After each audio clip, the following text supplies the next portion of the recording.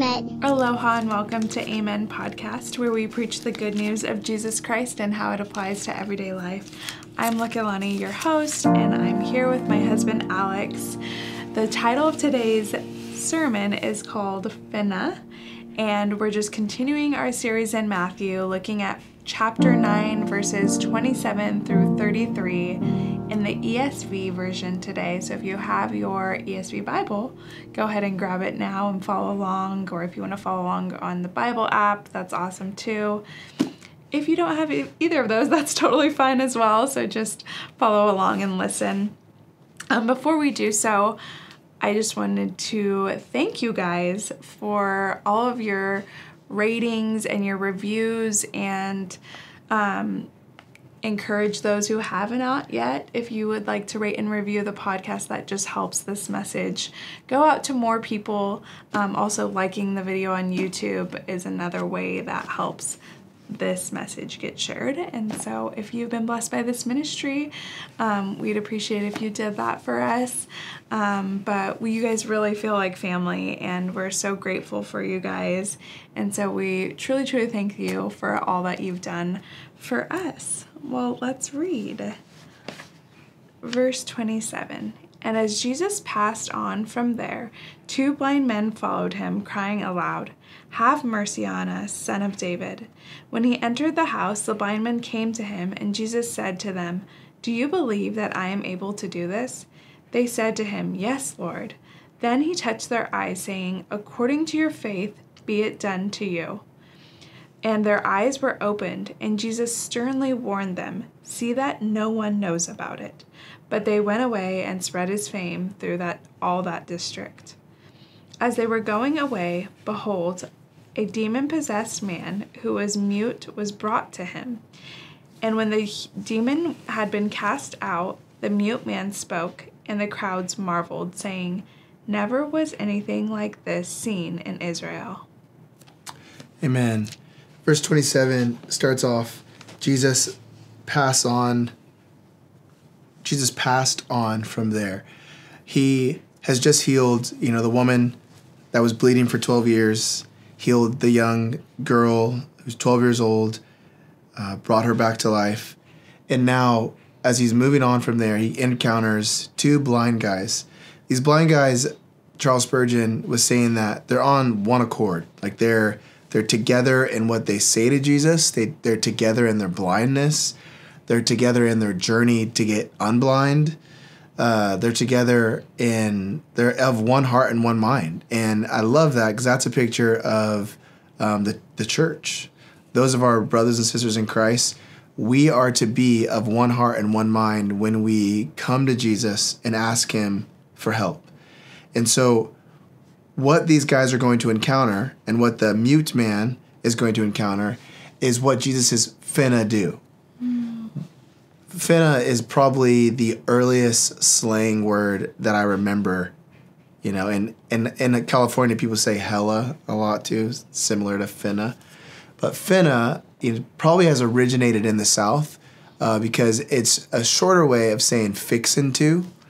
Um, I'm fixing to go get gas and put it in my truck.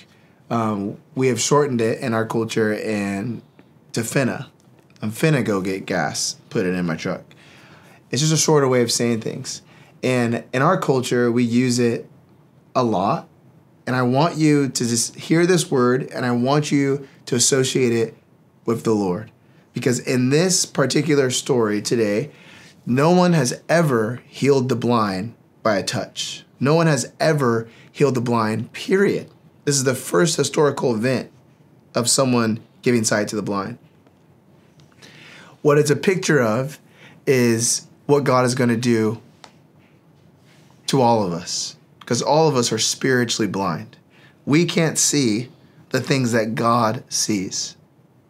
I remember there's a there's an image of like this um this student that went to school at the school that my dad worked at and I remember being like probably Amos's age, eight years old, and seeing this person walk down the road with a red cane and uh, with the red stick, you know, with the, the, the white line at the bottom. And I asked my mom, "What, what is that? What are they doing?" And uh, it was my first time seeing a blind person in, in public, and I remember I was so riddled with sin at that time. It was I was hiding a lot of things from my parents. I was I think in fourth or fifth grade, um, so a little bit older than Amos, but um, I remember feeling like I was in darkness and then seeing someone walk around in darkness.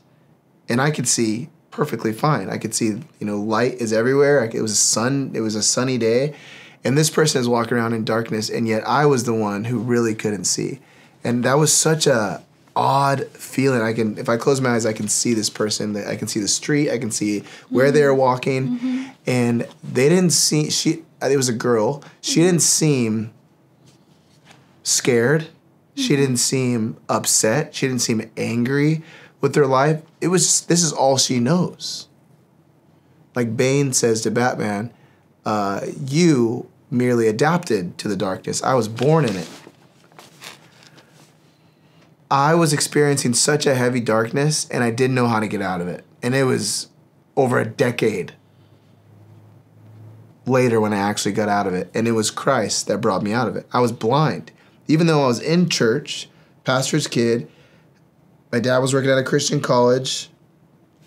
Even though I had Christian friends, we went to Christian youth groups, Awanas, all that kind of stuff. Or Awana, I don't know why we add S to everything, like Revelations. I went to Awana, all this stuff. I was still super blind. When in verse 27 and 28, when the, when the two blind men said, Have mercy on us, son of David they know this person is the promised king of Israel. That's what that term means. God promised that he would give the kingdom to a descendant of David, and that kingdom would never end. And that person was the one that was coming to establish a new world order, a new kingdom. Everything was going to change for the people of Israel. They waited and waited and waited for this new king after hearing about these miracles, these blind guys are like, he's the one. How did they get there? How did they even know he was there when he was passing by? Someone must have been saying, Whoa, it's Jesus, it's Jesus, it's Jesus. They must have heard. The Bible doesn't say they're deaf, they're blind. So they are able to hear Jesus is coming. The question is, are you listening? You can be spiritually blind in darkness, not seeing where God is moving, not seeing God in your life, but your heart is longing for more. There's a God shaped hole in you that hears, that can hear, okay, where is this the way? Let us not be blind and deaf. Now I know spiritually speaking, we are blind and and uh I'm sorry, yeah, spiritually speaking, we are blind and deaf. Spiritually speaking, we're dead, technically. But let us be like these blind men. When God calls, let us follow so we can have new sight. Check it out. It says, verse 28 He entered the house and the blind man came to him, Jesus said to him, Do you believe that I'm able to do this? Why did he wait to enter the house? I talked about this in my separate podcast. Jesus was trying to run away from popularity again. Jesus was choosing to not clout chase. And so that is perhaps why commentators say he waited not to heal them outside, but he, as they got into the house, when the door closed and they said, you know, okay, everyone, Jesus is, you know, he's going to retire back to the home now. When people walked away, he healed him. He was intentional. He's also an, an, intentional savior. Another reason why he could have waited to be in the house is because he wanted to give these guys sight intentionally, personally. How does Jesus usually heal? He usually heals by touching. Verse 29, he touched their eyes. They've never been touched like this ever before. They will never be able to forget that feeling of the Son of God, God in the flesh, touching their eyelids. They'll never be able to forget that feeling. And neither will you be able to forget the feeling of when God touched you for the first time, when He changed your life. Our God is a personal Savior. Jesus is a personal Savior. In the Old Testament, the God of the Old Testament, that's Jesus. Jesus and God the Father are one. And back then, in Genesis, he was personal. The Bible says he breathed life into Adam. He's a personal God. He personally brought the ark to rest on Mount Ararat. He's a personal God. He personally talked to Abraham. He personally met with Moses. And now he has decided to personally meet with you because he loves you. When he's giving sight to these guys, he's showing this is what I'm finna do, spiritually speaking. On the cross, we were going to be given new life. Because of his death, we're given new life. Because of his perfect sacrifice, obeying God's law that we had broken perfectly, and because God is a holy God they can't overlook sin, Jesus gave us his righteousness. And he took our sins upon himself. Mm. What that means is because we are now covered in his righteousness, we've been given his life. Now we can see with his eyes the things that we had not seen before. We're not in the darkness anymore. He has touched your life and brought you into his marvelous light. As we go through Matthew, before we get to the cross, we're seeing Jesus do all these things to point to what he came to do. By healing this physical, these physical blind guys, he's saying, This is what I'm finna do. Now listen, it gets even better. He says, Do you believe that I'm able to do this? They say, Yes, Lord. Then he touched their eyes, saying, According to your faith, let it be done to you. What faith does, faith brings you to a place in order to be encountered by God. That's what faith does. God gives you faith so that you can come to a place to be encountered by Him. You cannot get there on your own. Remember, blind people don't know where to go.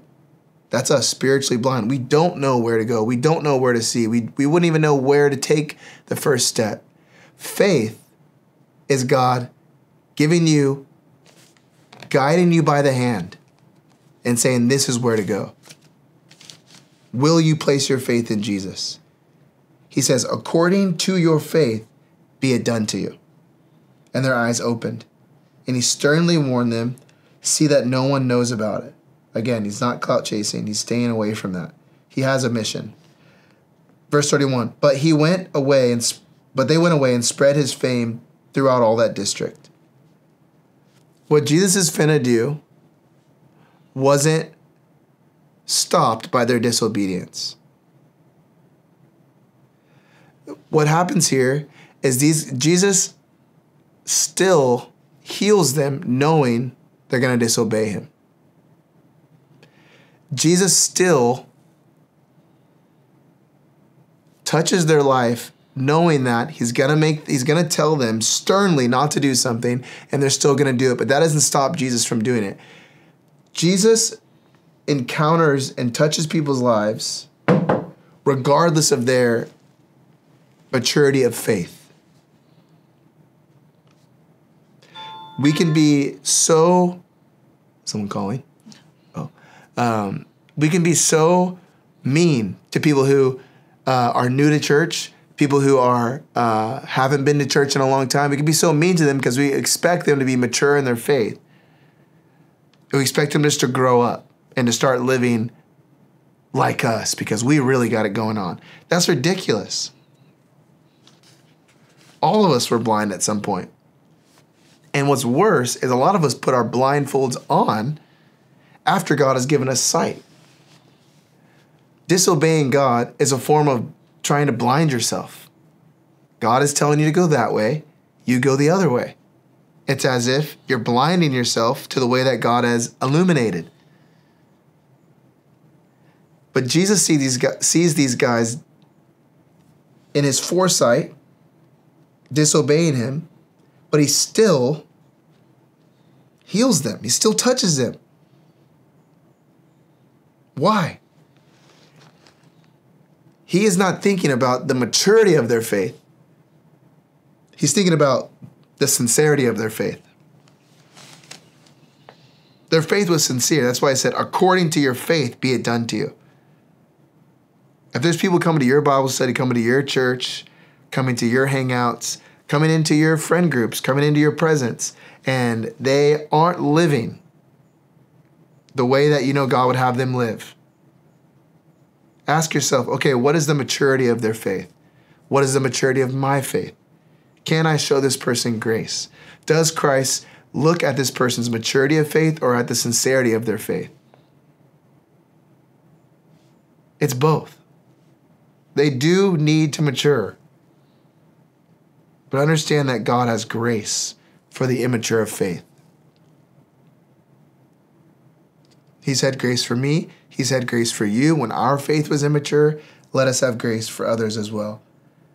Now, another thing that Jesus is going to do is allow those who are mute to speak, spiritually mute. Look at this. Uh, verse 32 As they were going away, behold, a demon oppressed man who was mute was brought to him.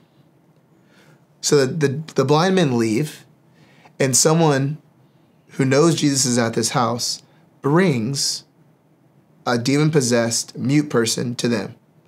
Now, we don't see this a ton in scripture, but it, it's here's an example of what the demonic realm is able to do physically to someone to make them mute. Can this still happen? Of course, it can still happen. It happens in probably mostly seen in other countries because I believe the the demonic realm has made us mute in different ways, not physically speaking, but he's made us um, afraid to talk about our faith. He's made us afraid to um, be honest, to be vulnerable, to confess our sins to one another. He's made it um, kind of embarrassing and kind of cringe to be a Christian um, in public, you know, or he's made it super popular and trendy and um, monetary to be a Christian online. And so you have a lot of Christians um, that are super lukewarm and super flippant with their faith, making lots of Christian memes and jokes. Um, and he's fine with you. The devil is fine with you talking that way about God until you're blue in the face because there's no real change or conviction or um, seriousness behind it. Mm-hmm. So either he's try, gonna try to get you to joke about your faith, or he's gonna try to get you to not talk about it at all. In other countries, this kind of physical muteness is still happening, and it happens in our country too. There's, I think, like at least once in my life, I've woken up, um, and this might have happened to you too, with a form of paralysis where I cannot speak. I try to speak and I cannot, and I'm fully awake. My eyes are open. I'm looking at my room, uh, and and the one time that that happened, when I said the word Jesus, I was able to speak. And so this stuff still happens. When Jesus sees this guy, it says verse 33, and when the dim, and when the demon had been cast out, a mute man, the mute man spoke. And the crowds marveled. Never was anything like this seen in Israel. But the Pharisees, oh, that's next week's. Never like this, never anything like this has ever been seen in Israel. Jesus is showing them what he's finna do for Israel. Israel is the people of God. Jesus came to get his people first because, because that's only right. The promised Messiah, the promised salvation, was to everyone. But first, the people he chose to bring the Messiah into the world were the Jewish people. So how it would be so wrong if Christ came down here and not focused on meeting them first, on drawing the chosen children of Israel back to God. So he does that. Most of them reject him. And it was always his plan to go after the Gentiles. But just take that as an example. You're when you're um, a parent Your children need to come first. How dare we evangelize everyone outside the home without evangelizing our own home? Paul says that's even proof that you're not a very good pastor if the ki- if the people closest to you you have not reached your own family. Your children need to come first. So he goes after them first and he's showing them what I'm finna do. I'm finna give sight to the blind spiritually. I'm, I'm, I'm finna give you the ability to speak where you have not been able to speak before. How has your sin, how has the enemy muted you? I almost call this episode mute um, because it's something we use in our culture a lot. My phone was on mute, um, or I put this person on mute. And the way we're going to be able to look at our life and say, okay, what is what do I feel God is finna do in my life? I have to look at the places where God has given me sight and God has, has given me the ability to speak. Mm-hmm. If you have children, you are not on mute. If you have some kind of platform, you are not on mute. Even if that platform is you lead your FCA or your crew or your young life. Even if that uh, platform is you're the only Christian in your family. Even if that platform is, you know, you're standing next to somebody in a long line and you like their shirt and you guys start talking about the shirt. That's a platform. You're not on mute because Christ is in your life, you're not on mute. The Bible says they brought the mute man who was possessed with a demon to Jesus, and when the demon had been cast out, the mute man spoke. Because you've been brought to Jesus through the power of the Holy Spirit, drawing you to Christ, pulling you by the hand, God the Father giving you the faith to come to Jesus and to trust him, because there's no other name under heaven that can be that which a man can be saved.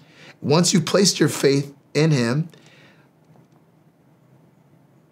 According to your faith, let it be done to you. You are now saved. You are now with Christ. Mm-hmm. The demon is gone, cast out. The, the demonic realm has no power over you. Now you're able to speak. How will you speak? Now you're able to see what will you look at. Don't you see? He's showing us in this passage what he's finna do in your life, but also what he's finna do in the narrative of the gospel. He's still not at the cross yet. So we're to keep seeing more images like this. And We're to keep being reminded okay, God, how are you moving in my life? So sorry. It's okay. It's a noisy episode. No, I was just kidding. Um, it was actually noisier last week with Luke in the va- in the van with us. We like that you guys are able to hear like just the creaking of the floorboards and notifications and phones dropping and stuff like that, Bible turning, uh, because it makes you makes you and us feel like we're in the same room together. But another thing that he's showing us that he's finna do is he's finna destroy the demonic realm. Mm. He casts out the demon. When Jesus dies on the cross, the devil loses. The spiritual, uh, the spiritual little g, lowercase g gods lose. This is what the cultures of the Old Testament thought of these guys as little lowercase g gods. They had power, crazy power, crazy wisdom. All the spiritual evil beings lose when he dies on the cross. They think he, they won. Peter tells us by quoting Enoch, which is a book that's not in the canon, but Peter recalls the story of this extra biblical literature in his letter, 1 Peter 1 and 2, and he talks about Jesus going down to the grave when he dies and preaching to the spirits in hell. What does that mean? He went there to declare to the spiritual beings they lost. You lose. You guys think I'm dead right now. You think I'm going to stay here in the grave with you. I'm getting out of here. You guys are staying here. That's heavy. This is a glimpse of that. The spiritual beings are shaking in their boots when this mute man speaks when they see the demon cast out. He's showing them what I'm finna do as I'm finna kick y'all's behind. No more will you have power over my people. He's showing them the victory that he's finna secure. He's finna give sight to the blind spiritually. He's finna let the mute speak spiritually. He's finna free the captives that were spiritually bound to the demonic realm. So if that is what God is finna do in your life, you need to take the blinders off. Lokelani this week, as we were talking about and praying about this episode, she said, We got to burn the blinders. God has given you sight. Don't keep blinding yourself. You blind yourself by your disobedience. You blind yourself um, by the things you choose to partake in, the things you choose to ingest spiritually. And open up your mouth and speak. Stop acting like you're mute. You can speak. Christ is in your life. He's given you places where you need to speak up. Speak up. Stop allowing people to mistreat you because what that does is when you allow someone to mistreat you and you know they're mistreating you, that is sin on your behalf too. Because God has given you a voice to say stop. I was watching this like um, video about toddlers and how to like communicate with them, and this person was saying when you put your hand up and you spread your hand and make your hand as big as possible. Try to pretend you you have Shaq hands or LeBron James hands, and you put your hand up and you say stop. No. What that does to a person, not just even a toddler, is it communicates I'm not playing around. God has given you a voice to speak up for His glory. Mm-hmm. How will you do that? Mm-hmm. Don't allow it. Take the muzzle off burn the blinders. But last of all, keep away from the demonic. You've been free from that bondage. Where is the demonic realm trying to put its feelers out into your life? Let us not go back to those places. Mm-hmm.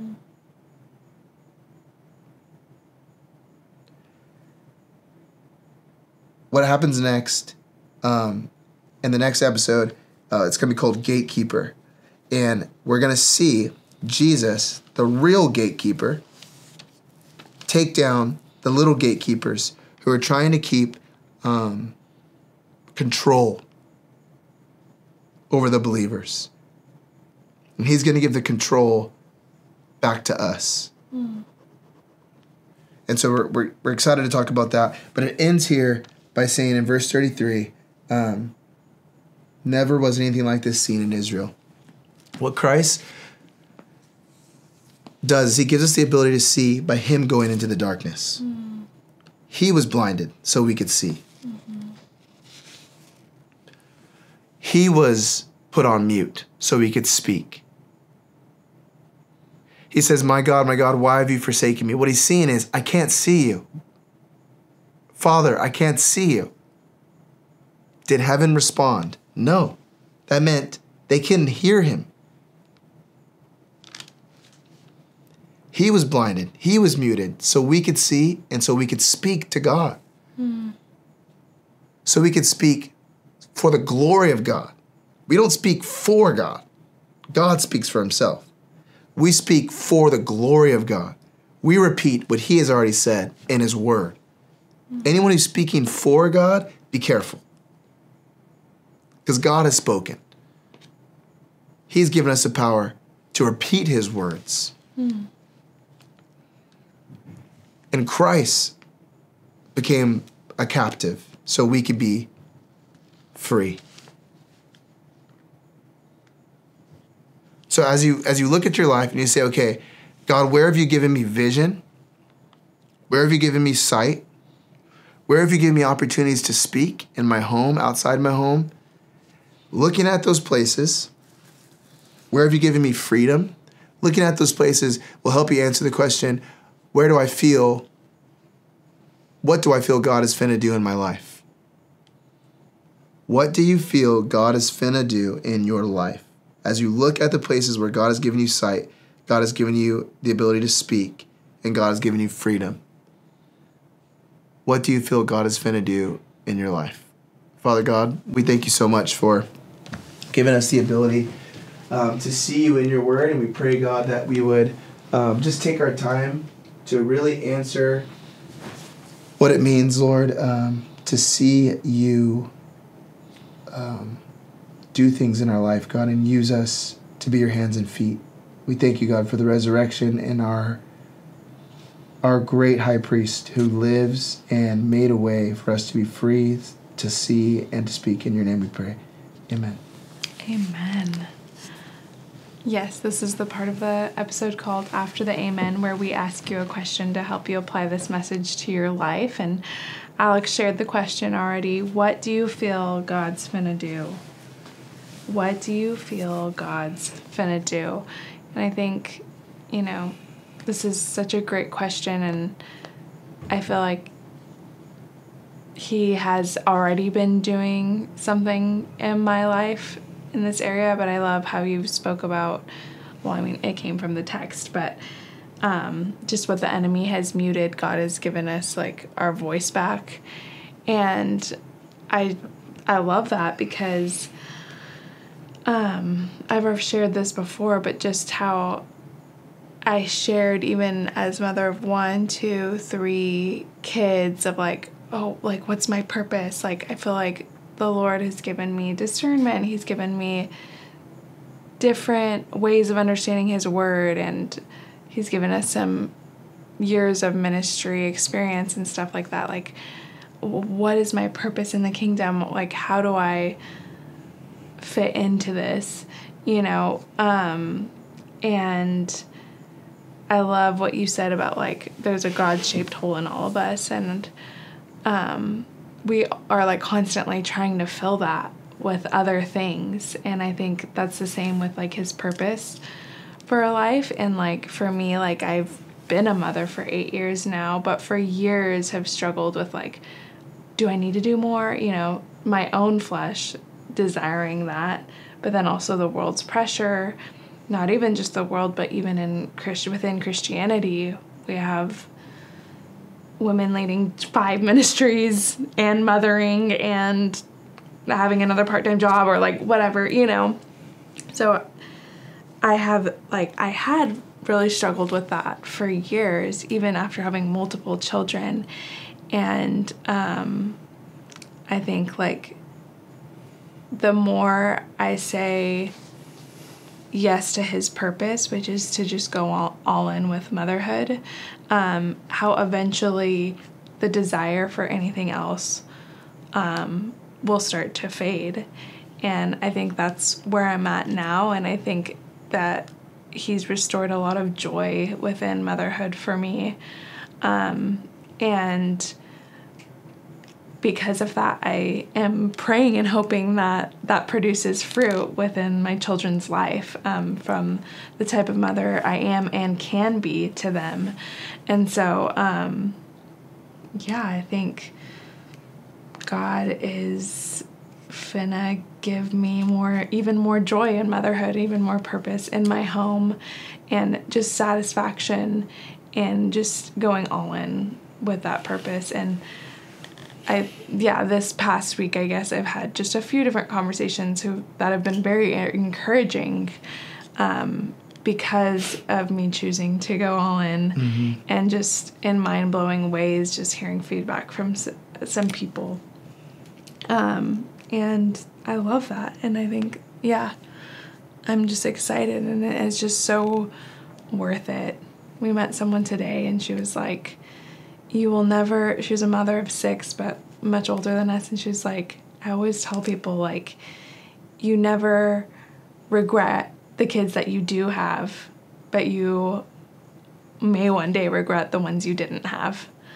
And i think that's so true and it was just such an encouragement to me to like stop trying to feel fill that hole in my life with other things and just fill it with the Lord's purpose and what He's already called you to and called me to.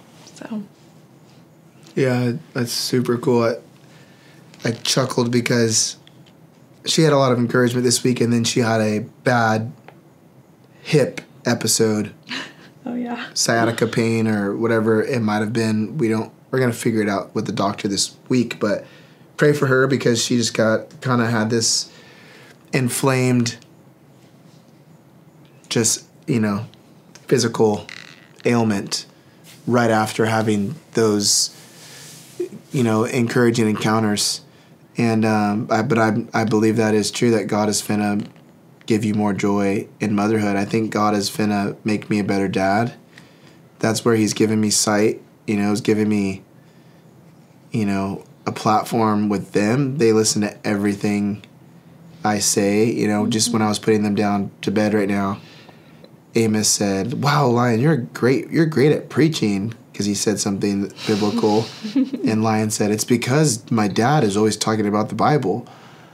Um, and so they listen to me, you know, and I don't really care if you guys don't listen to me if my kids don't. I love that you guys listen to me. It's it's awesome, but if my kids aren't listening to me, I could care less. and you know the truth is, you could care less. Yeah. You guys would not be listening to me if you knew my kids weren't listening to me. Because something's messed up with that. Yeah. And I think because my kids listen to me, it gives me the power to speak to you. Um, and so I'm just thankful for that. And I pray that God is able to, well, I know He's going to do that, you know, because um, like I said, He's given me sight there and given me the ability to speak there and He's giving me freedom. And it's so funny. I was just talking to my friend this week or last week asking, who is more free? The dad with preoccupied with his kids at the beach or the guy who's there with no responsibility, no schedule, no significant other, and he is on the prowl looking for fresh meat, mm-hmm. head on a swivel. That person's enslaved to their mm-hmm. flesh. Mm-hmm. The dad is probably hungry, not caffeinated enough, um, tired, but he's free. His hands are full mm. serving his children. He knows exactly who he is, he knows exactly what he's supposed to be doing, and there's nothing more important in the world that he could be doing. He's free. What we have to do is we have to burn the blinders. Mm-hmm. We have to unmuzzle ourselves Yeah. and we have to walk away from the chains. I believe what we're doing is we're not necessarily chained up. We're free, mm-hmm. but we're sitting with the chains on top of us. Mm-hmm. Like they're a weird blanket or something. A, a strange, spiritual, evil, wicked, weighted mm-hmm. blanket. Mm-hmm. Move away from the chains. Unmuzzle yourself, unblind yourself, take your blindfold off, burn it, and move and speak and see. If you had spiritual goggles and you could look around the people at your church, people in your Bible study, the people that you're friends with that are Christians, they're probably walking around with a blindfold and a muzzle on, Yeah. wearing chains around their neck, but not cuffed to them. Strange. And because all the other Christians around us are doing that, we think that's just the new fashion, spiritually speaking. We should just do that. We should muzzle ourselves. We should blind ourselves. No. I like what you're saying. That's good. Because, like, I think that we do muzzle ourselves. Like, people muzzle us, but we muzzle ourselves as well. And Mm-hmm. I think about that. Like, the number one comment we get when we're out is, I don't know. Oh, you don't know? oh, you got your hands full. Yeah, and Yeah. I I always want to be like, yeah, like you know, like kind of like entertain that person's comment. So to because give they're saying it- context- yeah, sorry. Older people Yeah. love to say to young couples who have a lot of kids, wow, you sure got your hands full. Mm-hmm. We get it multiple times a week. Yeah. And what we know that they're kind of saying is like, you're crazy. like, Yeah. why do you have so many kids? It's definitely not encouraging. and yeah, and so I want to like appease them usually, so I'll just be like, yeah, you know, but like in a way I'm muzzle I'm muzzling myself. I could think of it like, oh, they're muzzling me because of this, but like no, I do because I give into it and I don't like say something. Yeah, I and it- could what I could say is it's better than empty. it's better than empty-handed. Yeah, and that but could then be that good. would be like I I think I just am so fearful of that interaction and like I don't want to like offend them or I don't want to seem rude or like you know but am I being truthful by being like yeah like I I want to have all these five kids I want my hands full and It's I'm a- I'm thankful because some people don't have that opportunity Yeah, and God tells us to be fruitful and multiply. And like, there's been times where she has gotten mad at me because I've said to them, back to them, no, my hands are not full. Oh, I'll, I'll say, no, it's easy. Or no, I, you know, I work from home, so we got it. And um, I try to say it in a nice way, but there's times where she's like, no, it's, you know, you yeah need to be well nice. I don't think we need to be mean but You don't need to be mean, but I think again, speak up for yourself. It's not okay that the whole world thinks it's not good to have a lot of kids. It's not okay that the world teaches that. That we need to, you know, shove our kids off to the babysitter every chance we get, or we need to, you know, not, you know, only have one or two and settle down and make sure you have your career, make sure you put yourself first. You're never going to be free like that yeah and we get we get we would you would never say that to Jacob. You would never say that to you know who else had a bunch of kids in the Bible. yeah So yeah, I think that's a good example of choosing not to muzzle yourself. Again, you don't have to be mean. Mm-hmm. But a lot of times people um, were offended by things Christ said. Are you willing to allow people to keep offending you? That's good. Christ was offended by people, he turned the other cheek. But are you going to continue to live in fear of offending those people with the standard that God has called you to? We can't live in fear of offending people with the things of God. yeah You know, that's kind of what my episode on my podcast was about. Jesus never clout chased because the Bible tells us if everyone likes you, if everyone's praising you, that's not good. Mhm. But if you have people who are clear enemies of you, you're in good company hmm. because that's where Christ was. it's crazy The world, pra- the world praises things that God condemns. Mm-hmm. Beautiful stuff. What is God finna do in your life? What do you feel God is finna do in your life? We want to hear what you guys have to say. And we love you so much. AmenPodcast.com to support us and to keep us going. Keep it ad free. Yeah. Anything else? That's it. it's a slow one today tonight, guys, but this has been fun. Mm-hmm. And we're excited to hear what you guys have to say. And we're already looking forward to the next episode. So be sure to Subscribe, subscribe. follow, and we'll see you in the next one. Until then, go out and be the church. Amen.